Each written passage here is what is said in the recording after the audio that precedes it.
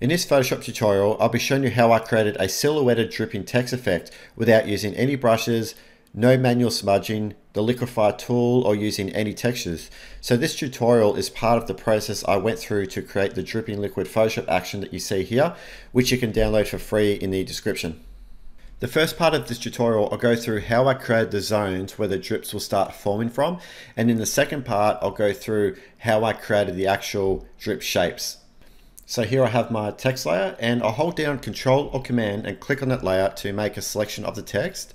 Next, I'll apply that selection to a solid color layer here and I'll just pick any bright color. I'll rename this layer to shape. Next, I'll duplicate this text layer here, control or command J, right click and rasterize the type. And I'll just rename this one to base. Next, holding down Alt or Option, I'll click and drag to the top to make a copy. And I'll rename this layer Blobs. Next, I will just click on base here and we'll just create a background layer here. So Control Shift N or Command Shift N, just create a new layer and holding down Shift Backspace, that will open up the fill window here. And I'm just going to fill this layer with 50% gray. So now we've just got a bit of a, a background here. Next, I'll select the blobs layer and holding down Alt and the down arrow key. When you tap the down arrow key, it's going to create a duplicate layer while moving that layer down one pixel. So I'm just going to tap it a few more times. Now I will shift select all of these layers, control or command E to merge them. Rename this one back to blobs. Next, hold down control or command and click on the blobs layer to make a selection of the layer. And I want to fill this selection in with clouds. So up to the filter menu, render clouds Control or Command D to deselect because now I want to blur these clouds. So filter, blur, Gaussian blur, and we'll leave this at 15. I'll hide the shape layer for the moment. So with this blobs layer, we want to extract all the areas in black, and these areas in black will be where the drips start to form from. So if I go to the image menu, adjustments, threshold, it splits the image up into two colors, which is easy then for us to then extract uh, black. But the problem is, is that I want a more of a organic looking shape to the areas in black, and I don't want this jagged edge, uh, these jagged edges that you can see here. So I'll cancel that, and to fix this, I'll create a new layer. So Control Shift N or Command Shift N, and to fill an empty layer with your background color, my background color here is white. I'll hold down Control or Command Backspace I'll move this layer below the blobs. Next, I want to merge these two layers, the blobs and this white layer here, onto a new layer, merge them together. So hold down Control Shift Alt E or Command Shift Option E to merge those layers together up the top here. Now when I go back to the image menu, adjustments and threshold, we have a much better looking shape here. So I'll just adjust this around a bit and Let's go with something like that. Next, I'll extract all the black areas from this layer by going to the select menu, color range, and just clicking anywhere where it's black. Click OK, and that will make a selection. Now I'll create a new layer and to fill a selection in with the foreground color, which is black here, hold down Alt or Option and Backspace. So now when I move this layer around, you can see we have uh, just those black areas isolated. So I can now delete these other layers and let's call this one now drip area or drips area. Let's turn the shape layer back on. So now we have the area where we want the drips to start appearing from. So the next step in this tutorial is to create the drips. So I'll create a new layer and I'll fill this layer again with 50% gray. So shift backspace, contents 50% gray. And we'll apply some noise to this layer. Filter, noise, add noise. And uniform, monochromatic. And the amount uh, we'll leave, I will increase to about 200. Next, I go to the filter menu, go to filter gallery, and under the texture drop down, under grain, I'm going to apply the clumped setting here and just max out these two settings. Next, I'll desaturate this layer, Control Shift U or Command Shift U. I'll apply some blur to it, filter, blur, Gaussian blur, and I'll set this to around 6. Next, I'll apply some auto levels to improve the contrast uh, in this layer. So Control Shift L or Command Shift L. And next, back to the image menu, adjustments, and then threshold again. And these areas in white will be the actual uh, starting shapes of our drips and also the location. So let's bring it to about here. We don't want too many drips. Click OK. Next, I want to extract all these white blobs from this layer. So select color range and I'll just click on one of these white areas, click OK. So now they are all selected. I'll create a new layer and I'll just hit D to reset the swatches here and I'll fill this selection in with black. So Alt or Option plus back, backspace, deselect. Now I can delete this layer here because now we have those little blobs extracted. Okay. Now the next step is that I want to restrict this layer here to the area of this layer. So to do that, I will just select the drips area layer, hold down Control Command and click on it to make a selection. Select this new blobs layer we just created here, and I'll, I'll just hit this mask icon.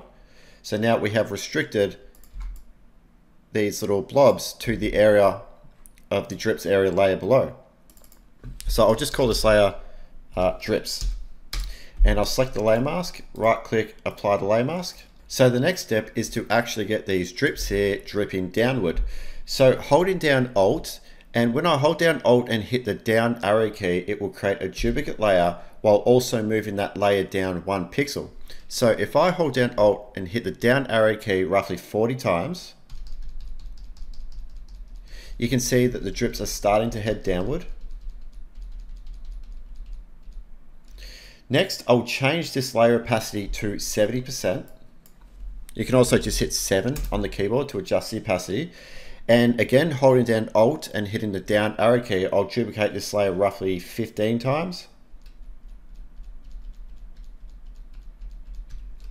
Next, I'll hit 4 on the keyboard to adjust the layer opacity to 40%. And let's duplicate this one roughly 13 times. Next, I'll hit 2 on the keyboard, change the layer opacity to 20%, and I'll duplicate this layer roughly 25 times.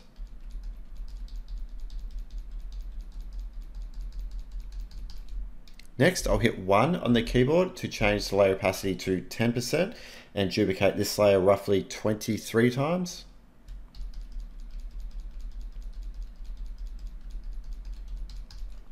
Next, hit 3 on the keyboard That'll change the layer opacity to 30%.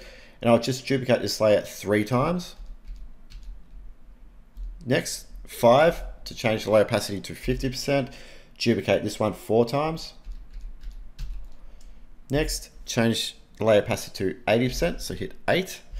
And we'll duplicate this layer just six times. And if I wanted these drips to be a lot longer, that very first round of duplication where I duplicated the layers roughly 40 times, I could have duplicated that say 100 times and then the drips would have been a lot longer. So I'll select this top layer here and go all the way down to the bottom here to the very first drips layer and hold, hold down shift and click on that layer to select them all. Control or Command E to merge them all together and I'll rename, rename this one back to drips. So we have our drips layer and our drips area layer. Now I want to work on the look of these drips some more. So I'll create a new layer and I'll fill this layer in white, move this layer below the drips, select the drips, and now I want to do a merge visible. So I want to merge everything, everything that we see here onto a new layer. So Control Shift Alt E or Command Shift Option E. Now I want to apply a few filters to adjust the look of these drips.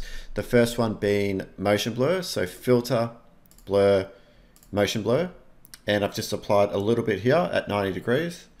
Next, image adjustments threshold. Click OK to that. Now I'll apply a little bit of blur. So filter, blur, Gaussian blur. Two pixels is fine. Next up to image adjustments, brightness and contrast. And I'll use legacy. And I just want to increase the contrast now uh, with these drips. So boost the contrast up. And if I increase the brightness, it starts to thin the drips out some more. So we'll go up pretty high. click OK, and now I'll apply a little bit more blur. So filter, blur, Gaussian blur, and I'll just apply two pixels again. Now I want to extract all these drips from this layer. So I'll go to the select menu, color range, and I'll just click on any drip here to select that color value. And I'll drag the fuzziness to 200. So we include all the gray values as well. Click OK. So we have a selection. I'll create a new layer and I'll fill this selection in with my foreground color, which is black. So Alt or Option Backspace to fill that in. Now I can delete these old layers that we don't need anymore. So the one below the old drips layer before we adjusted the look and this white background layer here. And I'll just rename this one drips because this is our new updated drips layer with the new look. So now when I zoom into an area, I want to improve the connection between the drip and the drip area. So I want the drip to kind of curve into the drip area here rather than just going directly into it. Okay, so to just make the effect look a bit more convincing. So what I will do is hold down control and click on the drips area. And then holding down control and shift, I'll uh, click on the base. That will include our base layer into the selection and I'll hold down control shift and also click on the drips layer. So that will add the drips layer into the selection. So we selected those three layers, the drips, the drips area, and the base. Now I'll go to select, modify smooth, and I'll just smooth this selection at five pixels. So you can see that when I do that, it has started to create this curve between the drip and the drip area. Okay, but if you look down this drip here, it's it's lost some of the selection. So I'll go through the same process while everything is selected to select these three layers again. So holding down Control plus Shift, I'll click on the drips. So you can see when I do that, it has included the drips back into the selection.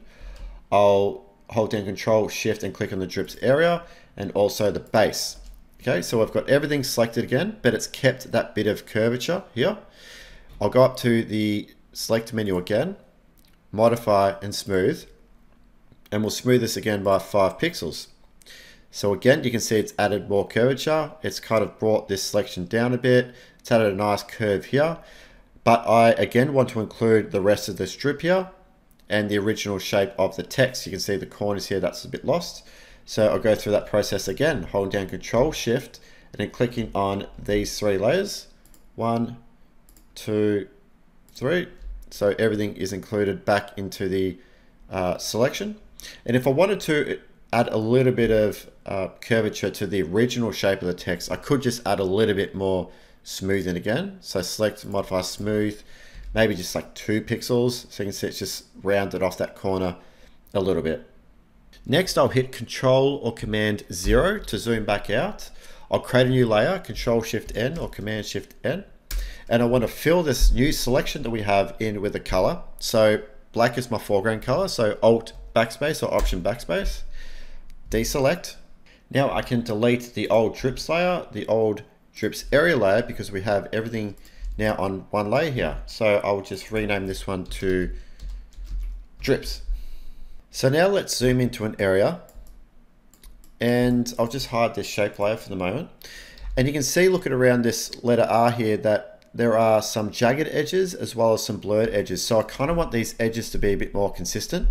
So what I will do is create a new layer and fill this layer in white, move this layer below the drips, select the drips, and we'll go through that process again of merging everything that we see on the canvas here onto a new layer. So Control Shift Alt E or Command Shift Option E. So there's the merge. And I'll go to the image menu, adjustments, brightness and contrast. I'll use legacy and I'll just increase this contrast here to start to remove some of the blur from these drips. So if you look down the bottom here at this drip, as I increase the contrast, that blur starts to go. So let's increase the contrast, click OK, and then what I will do now is go to Filter, Stylize Diffuse, oops, Stylize Diffuse. So this will kind of remove those jagged edges a bit. And I might actually apply it one more time. So Filter, oh, just up the top here, Diffuse, so there we go. So now there's a lot more consistency with the edges around all our letters. So I'll zoom out, Control or Command 0. Now the final step here is to replace our shape layer mask. So if I hold down Alt or Option, click on the mask. So this is the mask here on the shape layer. We want to replace that mask with what we see here, okay, with our new dripping text. So I'll delete these excess layers. We don't need those.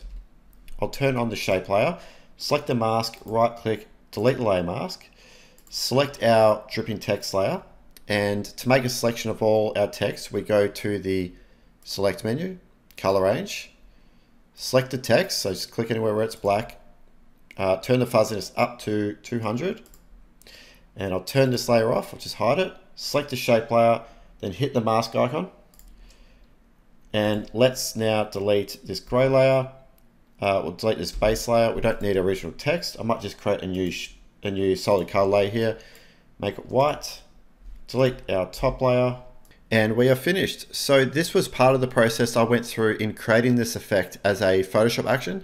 That action is free and is linked to it down in the description if you want to download it. Hope you enjoyed the video and thanks for watching.